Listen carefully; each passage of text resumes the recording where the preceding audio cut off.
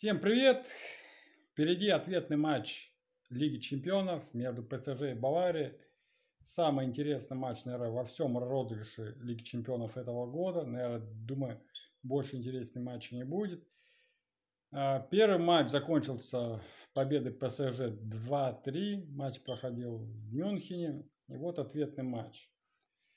Вот. Ну, многие говорят, что у Баварии состава нет, то, что они лишены состава, там чуть, чуть ли не 11 игроков в основы нет. Ну, я не согласен с этим. Почему не согласен? Да потому что по сравнению с прошлым матчем у Баварии не будет играть, по-моему, только Зюли. По-моему, Зюли и кто-то, возможно, кто-то еще. Вот. Ну и что? И что? И Левандовский не будет. Он не играл. А что мы видели в Париже? Мы видели в Париже, что там просто было изнасилование. Бавария просто проводила изнасилование этого ПСЖ. Ну, просто так получилось, что ПСЖ из нихуя забил дохуя, а и Бавария из дохуя ничего не забила.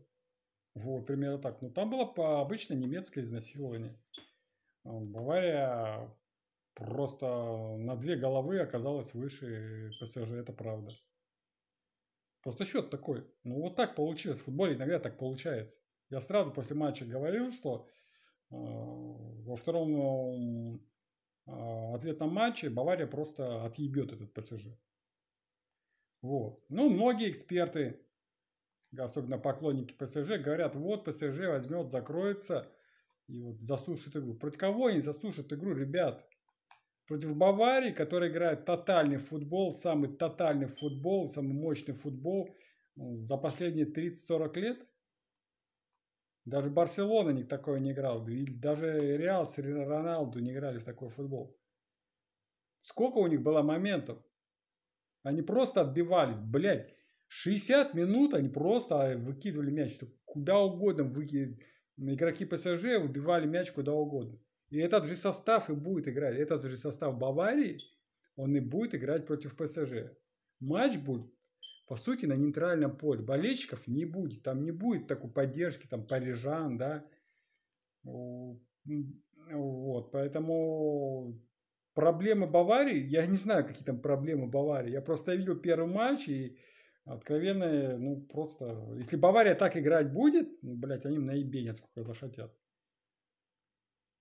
Кто-то скажет, ну, Мбаппе убежит, а может убежит. Ну, понимаете, мы, я рассказываю свое видение и свою аналитику, то, что должно быть. А что в реальности будет, я не знаю. Но и то, что должно быть, я могу сказать то, что Бавария, ну, блядь, на две головы выше ПСЖ. Понимаете, в чем отличие тренерской работы ПСЖ и Баварии? В том, в том, что тренер Баварии Флик, он делает команду. Она играет в командный, такой доминирующий футбол, в отличие от ПСЖ.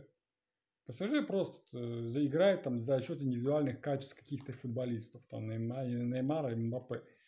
А у Баварии это командная игра. Именно командная игра. И до пизды, что там нет Левандовского. Ну и хуй с ним. До пизды вообще. Неважно. Там каждый игрок, он готов э, на 100%. Именно командная игра у Баварии построена именно на, на 1000%.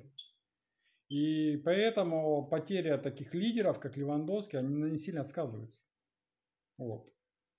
Ну, просто вот э, представьте, что в принципе выйдет тот же состав Баварии, который играл в Париже. Да не в принципе, а тот же, ну, Зюли не будет, и что? Тот же состав Баварии выйдет против ПСЖ. Ну, блядь, такое, так, такое же, блядь, будет избиение. Кто скажет, ну, блядь, какое это избиение, когда счет 3-2 выиграл ПСЖ. Ну да, выиграл, и что? Ну, блядь, им везет уже третьем матче подряд. Они с Бар... У них с Барса были два матча, которым фарт... фартануло. А сейчас у них, блядь, с Баварией, у них первый матч, у них был супер фарт. Вот. Понимаете, что кто говорит, что у Баварии там нет 11 человек? Да, ребята, вы понимаете, что против, э, да, у них нет 11 человек, но против э, ПСЖ будет играть та, та, та же самая Бавария, что был в первом матче.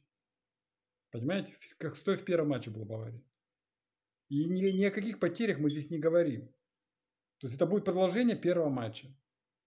И закрыться против Баварии, ну, не знаю, как они могут закрыться. Я очень сильно сомневаюсь. ПСЖ первый матч против Барса выиграл 4-1, да, а во втором, блядь, э, Барса их в первом тайме должна была 4 забивать, если бы не этот долбоеб Дембеле. Вот там у них столько моментов стопроцентных было, ну, не забили. Но Бавария и Барселона даже рядом сейчас не стоят. Вот, поэтому я считаю, что явный фаворит в матче это, безусловно, Бавария. Безусловно, Бавария. Вот. А, еще что момент какой. Говорят, что говорят, что, возможно, Навас не будет играть а, у ПСЖ. Это, в принципе, единственный игрок в ПСЖ, который принес победу ПСЖ в первом матче. Это вратарь. Вратарь ПСЖ, кто не знает, да? Говорят, что он вроде как может выйти на уколах, а может и не выйти, да? Я думаю, он выйдет. Но факт то, что он, у него там какая-то микротравма или травма, или он выйдет даже на уколах, это говорит о том, что, скорее всего, не совсем готов. И уже, может, таких сейвов не будет с его стороны. Вот. А если выйдет дублер, ну, тоже вопрос, да? Ну, я думаю, наверное, похуже Наваса будет. Вот. То есть у ПСЖ, на мой взгляд, э, за неделю может быть даже больше потерь, чем у Баварии. То есть ПСЖ, главный их, а, главный герой, главный игрок, это вовсе не Мбаппе или Неймар, а это Навас, который, блядь, вытащил, в принципе, за уши ПСЖ. Вот. И этого игрока, возможно, не будет. Ну, тут даже важно не то, что, может, его не будет, но он будет играть. А то, что он будет уже с травмой играть, это тоже надо учитывать. Потому что зачастую, когда игроки играют с травмой, да, они уже так не блещут. Да и постоянно фартить тебе не может. Вот, вот такое мое мнение. Я считаю, что явным фаворитом этого матча, конечно же, Баварию. И моя ставка и мой прогноз на этот матч – это проход Баварии за коэффициент 3.36. Я ставил хорошую сумму на этот матч и ставил на коэффициент 3.7. Я сразу после первого матча, когда в BetCity выложили а, про ставки, да, я ставил на коэффициент 3,7. Вот, ну сейчас уже 3,6. Э, я считаю, что это вполне нормальная ставка. Кто скажет, блядь, коэффициент 3,6, да ты ебанулся. Ну и что, надо брать. Бавария да, будет бить до тех по ПСЖ, пока они не выйдут дальше. Бавария не устроит просто победы над ПСЖ. Им нужно выигрывать. Выигрывать и забивать три мяча. Вы понимаете? Кто-то скажет, ну да, ПСЖ тоже будет убегать. Ну да, будет убегать. И что? Так Бавария может и 5 забить, и 6. Тоже Томас Мюллер трешку им закинет, да, и все. Вот, ну, по крайней мере, этот коэффициент, он очень хороший.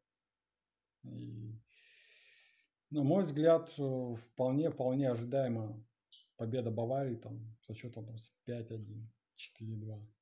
Вот. В принципе, что нужно Баварии? Забить два мяча. То есть 0-2, и Бавария вышла в следующий раунд. И ваша эта ставка на проход Баварии сыграла. То есть 0-2 счет уже устраивает Баварию. 0-1 не устраивает. Но 0-2 устраивает уже.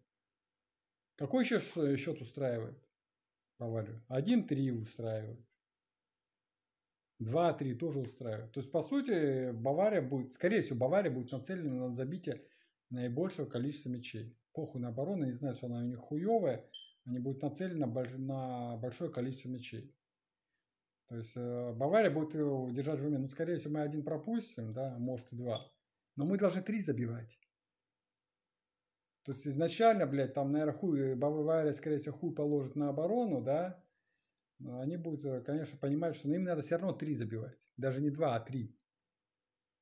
Вот. Поэтому я думаю, я думаю, это вполне реально.